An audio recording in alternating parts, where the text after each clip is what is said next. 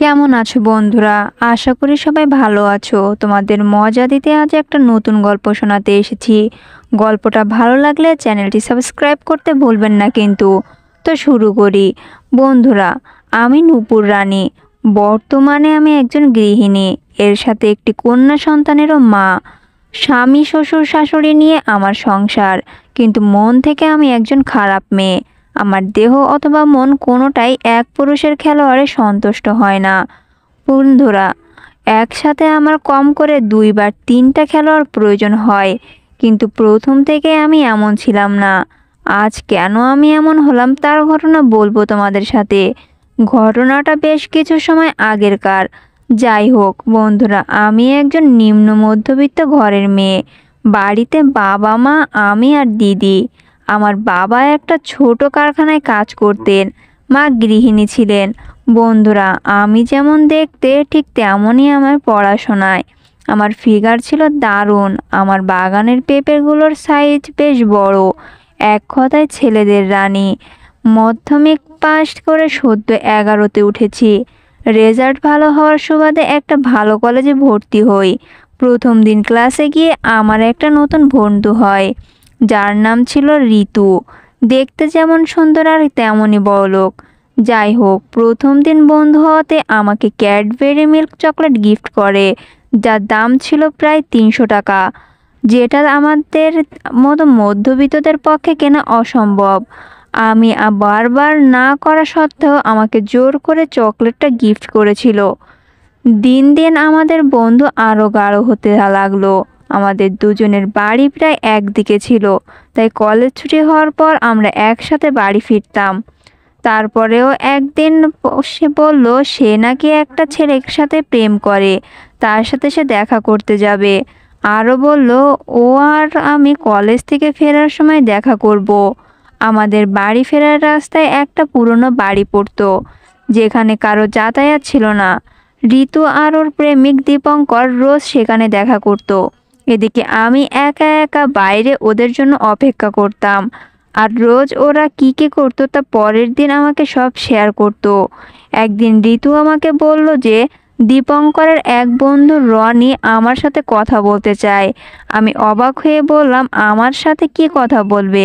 College থেকে ফেরার সময় ও আমাকে ওই বাড়ির ভিতরে নিয়ে গেল। ভিতরে গিয়ে তো আমি পুরো অবাক। বাহির থেকে পুরো বাড়ি মনে হলেও ভেতরে একদম অন্যরকম। সুন্দর করে পরিষ্কার করা দুটো ঘর যাতে বসার মতো বেশ ভালো জায়গা করা। ঋতু আমার সাথে দীপঙ্করের আর রনির পরিচয় করিয়ে দিল।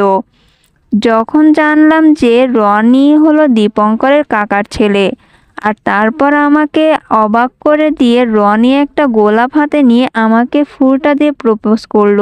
আমি যে কি বলব সেটা ভেবে পেলাম না। আমার কিছু বলার আগেই ঋতু বলল যে, আমাকে কিছু ভাবার সময় দিতে। আমি তো লজ্জায় লাল হয়ে যাচ্ছিলাম। সেদিন রনি আমার জন্য চকলেট, গোলাপ ফুলের তোড়া, সাথে একটা মোবাইল গিফট করল। আমি কিছুতেই নিতে চাচ্ছিলাম না। কারণ যাকে আমি চিনি না, তার কাছ থেকে আমি এত দামি গিফট কি করব। আর বাড়িতে বা কি বলব? ঋতু আমার অবস্থা বুঝতে পেরে ও বলে যে এগুলো এখন নেওয়া নূপুরের পক্ষে সম্ভব না। কিন্তু রনি আর দীপঙ্কর বারবার জোর করতে থাকে। রনি বলে, নূপুর যদি আমার সাথে প্রেম করতে নাও চায়, তাহলে কোনো ব্যাপার না, কিন্তু গিফটগুলো যেন তার জন্য নিয়ে এসেছে, তাই নিতে হবে। আর আমি যদি না নেই, তাহলে সেগুলো জলে ফেলে দিবে। তখন কোনো রাস্তা না পেয়ে বাধ্য হয়ে আমি সেগুলো নেই। কিন্তু রনি আর দীপঙ্কর ভালো করে এটা জানতো যে, আমি যদি একবার ওগুলো নেই, তাহলে কোনোভাবেই আমি আর রনিকে না করতে পারব না। তাই রনির জোর করে ওগুলো আমার ব্যাগে ভরে দেয়।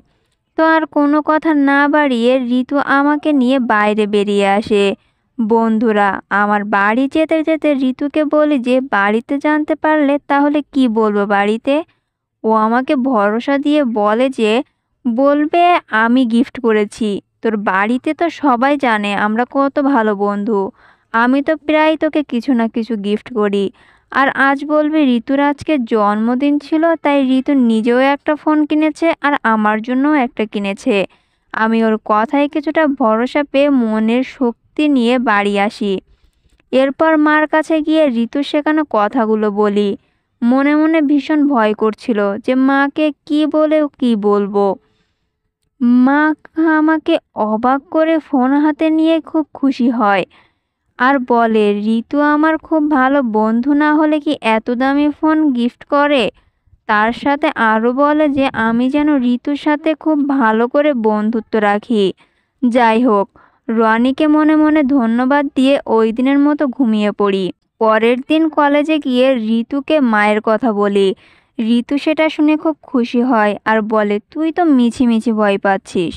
আমার কথা শুনে যদি চলিস, তাহলে দেখবি তোর জীবনে সব কিছু সোজা হয়ে যাবে। তারপর ঋতু বলে রনি নাকি আজকে আমার জন্য একটা সিম নিয়ে আসবে। আমি যেন রনিকে হ্যাঁ বলে দিই।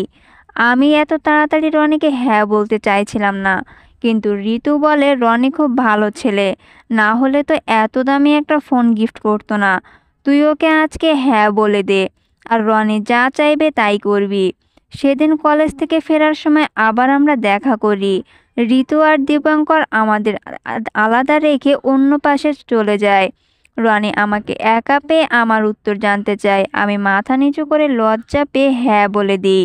ও আমার উত্তর শুনে খুব খুশি হয়ে যায়। আর আমার কাছে থেকে ফোন নিয়ে তাতে একটা সিম কার্ড লাগিয়ে দেয়। তারপর আমার সেই ফোনে রনির নাম্বারটা সেভ করে দেয়। তারপর আমরা বসে বেশ কিছুক্ষণ গল্প করি। একটু পরে ওই রুম থেকে ঋতুর মুখ থেকে কিছু শব্দ শুনতে পাই। এই শব্দ কিসের তা আমি ভালোই বুঝি। দীপঙ্কর, আমার বান্ধবীর মাঠে তুমুলভাবে খেলে চলেছে। সুখের খেলায় ঋতুর নানা রকম শব্দ করছে, যার ফলে আমি লজ্জায় লাল হয়ে যাই। রনি কিছুক্ষণ চুপ থেকে আমাকে জড়িয়ে ধরে। পাশের রুমে অমন খেলা চলছে তা জেনে নিজেদের সামলানো বেশ কঠিন। রনির স্পর্শে আমার মাঝে অন্যরকম একটা ভালো লাগা তৈরি হয়। তারপরেও রনিকে বাধা দিচ্ছিলাম। কিন্তু রনি আমার বাধাকে উপেক্ষা করে আমার বাগানের কচি কোমল পেঁপেগুলোতে হাত দিয়ে চাপ দিতে থাকে। এতে আমার মাঝে ঢেউ শুরু হয় আর মাঠের রাস্তায় জল একাকার হয়ে যায়। এদিকে আমার বাগানের পেঁপেগুলো দলাই বলাই করতে করতে উন্মুক্ত করে দেয়। মাঠের রাস্তায় আস্তে হাত দিয়ে ঘষতে থাকে। মাঠে জল পেয়ে সে মুচকিয়ে হেসে বলে, ওয়াও, কি দারুণ! এতে আমি আরও লজ্জা পেয়ে অন্য দিকে তাকাই। এরপর রনি তার খেলোয়াড়টা বের করে আমার হাতে ধরিয়ে দেয়। সাথে সাথে আমি অবাক হয়ে যাই ওর খেলোয়াড়টা দেখে, কেননা ওটা ছিল বিশাল। তা একটু ভয় পেয়ে যায়। কেননা আমার খেলার মাঠে এটা যাবে কীভাবে? এদিকে সে আমাকে জায়গা মতো রেখে তার খেলোয়াড়টা মাঠে ভেজার রাস্তায় সেট করে ঘষতে থাকে। এতে আমার ভালো লাগে ও ভয়ে ভয়ে বলে, রনি, আমাকে ছেড়ে দাও। তোমার এই বিশাল খেলোয়াড় আমি নিতে পারছি না। রনি বলল, ভয় পেও না, দেখবে একটু পর তোমার ভালো লাগবে। রনি পাকা খেলোয়াড়ের মতো আমাকে আরও গরম করে ফেলে। তখন আমার মাঠে কিছু একটা নিতে ইচ্ছে করল। রনি আরও একটু সময় নিয়ে এক ধাক্কায় মাঠের রাস্তার খেলোয়াড় ভরে দিল। এতে আমি কেকিয়ে উঠলাম। জালফরে রনি আমার মুখ চেপে ধরে লাগল প্রথম প্রথম একটু ব্যথা পেলেও একটু পর ভালো লাগতে শুরু হয়। আমার ভালো লাগছে তা বুঝতে পেরে রনি তার খেলার গতি বাড়িয়ে দিয়েছে। আর গতিময় খেলায় আমি ভীষণ মজা পাচ্ছিলাম। কিছুক্ষণ পর দরজার দিকে চোখ পড়তেই দেখি ঋতু আর দীপঙ্কর আমাদের খেলা দেখছে। আমি লজ্জায় মুখ ঘুরিয়ে নিয়ে রনির গতিময় খেলা উপভোগ করতে থাকি। এভাবে রনি একটানা প্রায় বিশ মিনিটের মতো খেলে শান্ত হয়। রনির খেলায় আমি অন্যরকম একটা সুখের সন্ধান পেয়ে যাই। তাই মনের আনন্দে রনিকে একটা চুমু দিয়ে বাইরে চলে আসি। বন্ধুরা, আজ এই পর্যন্তই। পরের পর্বে আরও নতুন চমক আছে। এরকম আরও ভিডিও পেতে চাইলে আমাকে সাবস্ক্রাইব করে একটা শেয়ার করে দিও।